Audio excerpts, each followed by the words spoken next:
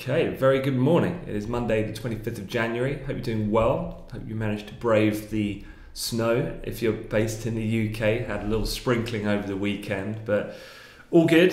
Ready to give you the latest kind of fundamental briefing for the for the week ahead. To encapsulate some of the main things that happened in the, the press over the weekend that you need to be aware of, and then look at the fundamental factors that are in focus this week. In terms of the technical levels and trade setups intraday uh, and for the week ahead, I'll let my teammates do that on the Amplify Live channel. Again, we've got the live stream going on throughout the entire day. We've also got the masterclass, the FOMC happening in the evenings. That'll all be covered uh, in real time then. So remember to check out the link below for Amplify Live if you've not done so already. And if you're watching this on YouTube, really appreciate it if you could like and subscribe to the channel.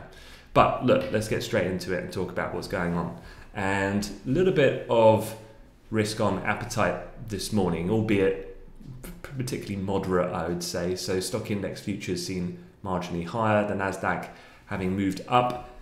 Generally speaking, through the recommencement of trade overnight, just saw us technically break, break above an area of what was resistance that we had back at the end of last week on Friday that managed to hold price. So using that as a bit of a launch pad then to push higher through the early part of the Asia Pac session.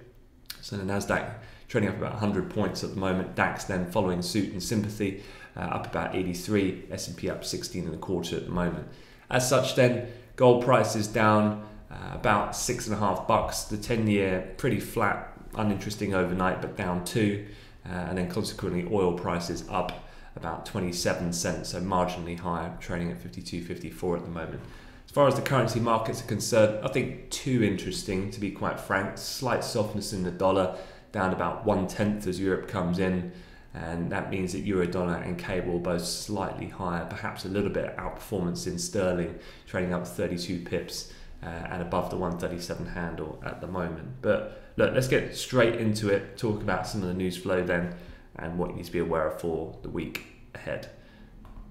Starting off with this this is still arguably one of the main kind of narratives driving financial markets at the moment, and that is now that we've had um, the president elect now being formally put into place, so Joe Biden now in the White House. What is then the timings and the size and scope of the coronavirus relief program he wants to push forward? Now, over the weekend, a few developments there to be aware of. So, officials in his administration tried to tried to head off some concerns that have started to emerge amongst a select group of Republican uh, senators about the size and the expense of his proposed $1.9 trillion new program. This, of course, comes after they'd only ratified and signed off that 900 billion just a few weeks ago. Uh, the push for coronavirus relief, there's kind of two things here to be aware of. Um, one is a little bit more practical. The fact that the second impeachment of Donald Trump obviously takes place, the trial begins on February 8th. Some Democrats have been quite upfront saying, look, let's try and get this uh, bipartisan agreement through. You've got our backing to try and get the stimulus in before then, because there's a timing issue where then it's going to conflict and draw uh, probably unnecessary attention away from what the greater necessity is, which is to provide more relief for the people on, on Main Street in that respect. Um, and then the second thing is that you know impeachment trials they only go as to further fuel the kind of deepening divisions that exist uh, overall, which ultimately then might have a knock-on domino effect then for the likelihood of the passage of certain elements of this this latest relief bill. So a couple of things to look out for there. It's still an important factor, of course, um, to be monitoring throughout the week. No set kind of dates or times to be aware of, but it's something that's going to be ongoing throughout the whole week um, in itself. Moving on then to COVID, what's the latest there? Well, there's a couple of things to update you on. The UK's Health Minister Matt Hancock was speaking at the weekend. Uh, he warned the coronavirus vaccines may be less effective against the new variants of disease, such as those found in South Africa and Brazil, uh, and that stricter border controls are therefore justified. Um, so this is the latest kind of stats over the weekend on Sunday. There's 77 cases found now in the UK of that South African variant, even though they had stopped transportation coming in from that particular country. So something to just keep an eye on, perhaps in terms of how quickly that number starts to head north, uh, and certainly perhaps catching a bit of attention given the fact that he said quite expressly that the, the vaccines may be less effective against the new the new variant in itself. On the other side, then, there's a few other things to be aware of. Uh, France is set to be or set to go into lockdown within days. Uh, so in mainland Europe, uh, amid concerns of a new wave of infections driven by the UK variant, uh, and, and, citing people um, basically familiar with the matter, uh, they've said Macron could announce the country's third lo- lockdown coming on Wednesday night. So don't find that too surprising to be to be quite honest, and hence the reason why it's not really impacting the market right now. Uh, still, at the moment, the the ongoing nature of lockdown seems to be somewhat bedded into expectations, uh, at least for the time being. But we're expecting confirmation of that midweek coming from France. The other thing then is about the kind of rollout of the vaccines.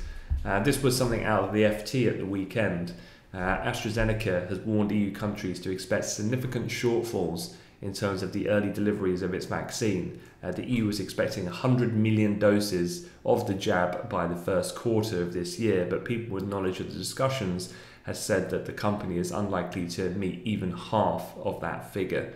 Uh, this has caused quite a lot of backlash between various different EU nations against uh, AstraZeneca, um, and of course comes in the context of a lot of people starting to scrutinize the relative slow vaccination rollout comparative to what we've seen in some of the other countries. And to help give you a bit of context on that, this is looking at a, a, a kind of list going in order of the number of doses administered per 100 people. So you can see in Israel, for example, it's nearly half um, of the of the of the population at this point in time in terms of per 100 people. Whereas then scaling it down, the UK is now at 10.21, US is 6.82. But you'll note then, really, in terms of the major European nations, it's not until you get down to Spain that, that's one of the highest, and that's down at 2.51. Uh, again, comparative to 10.2 in the UK. So that that's one of the, uh, I guess, things to, to keep an eye on in combination with this, it's interesting to note that in total, the UK and US have each spent about seven times more upfront per capita on vaccine development, procurement, and production than that of the European bloc. And although markets not showing too much sensitivity to this at the moment, uh, obviously the the quicker they can get the control, uh, or at least uh, get the virus under control, get these um, these vaccines administered as quickly as possible, that would then consequently lead to the uh, inevitable reopening of the economy at some point in time. Uh, so at the moment, Europe is lagging a little bit, which could be something to just monitor going forward as well.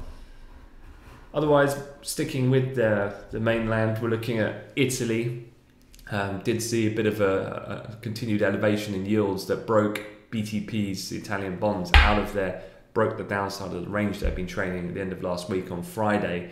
Uh, in fact, from Italy, we saw 10 year yields right, um, go to 0.75%, uh, and the spread against German bonds widened about 8 basis points, which is the widest that spread's been since about November uh, of last year. So, the latest over the weekend basically is that Conte is resisting pressure to resign.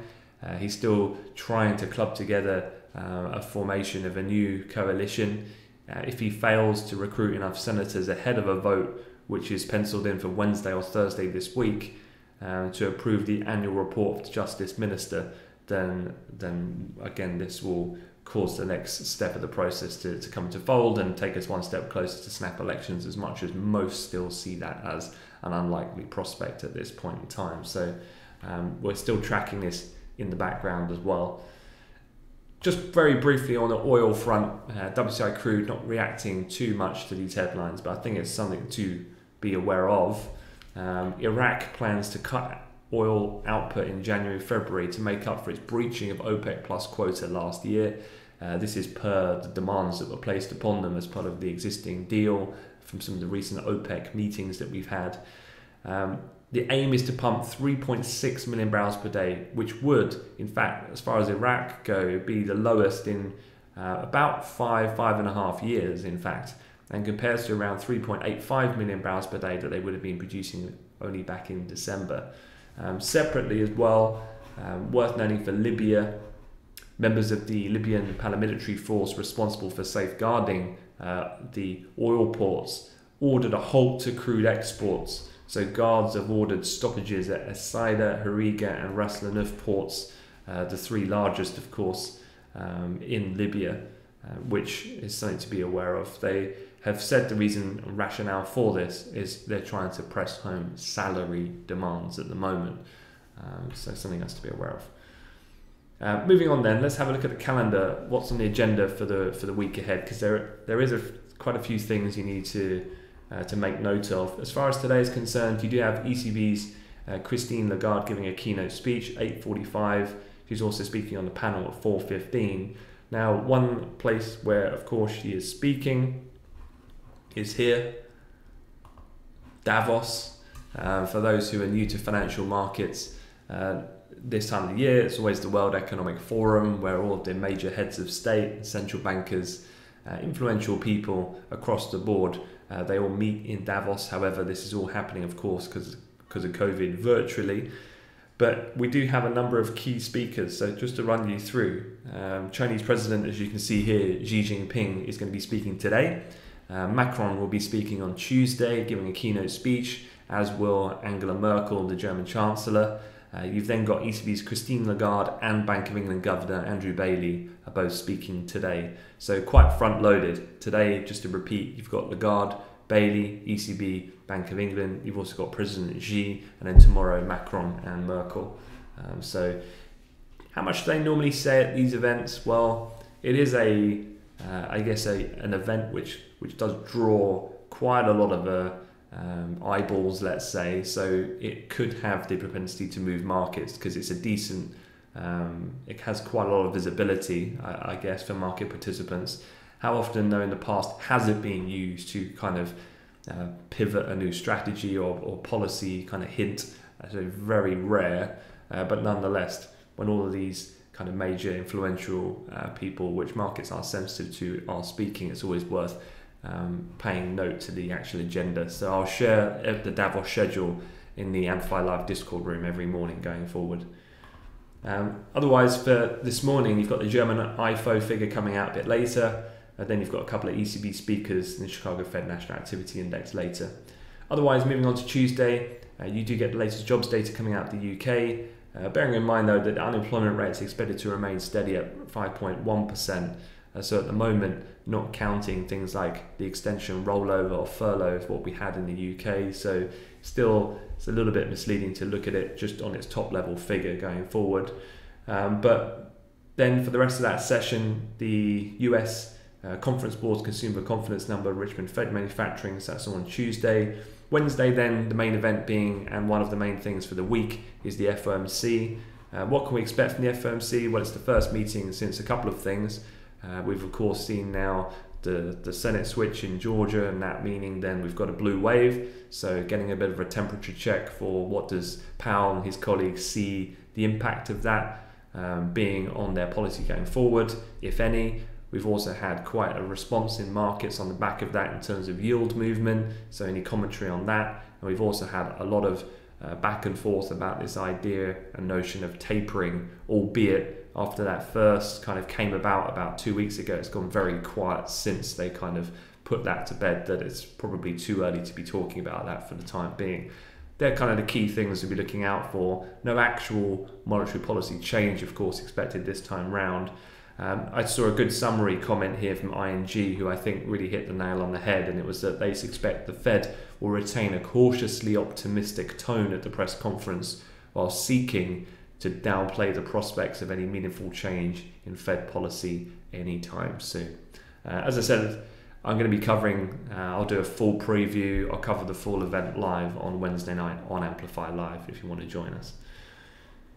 Um, so beyond that, looking to Thursday, uh, you've got the German state CPIs and then the US Q4 advanced GDP figure uh, at 1.30 on that day, alongside the weekly jobless change numbers as well, which we're continuing to track at this present point in time, given they're fairly uh, elevated nature.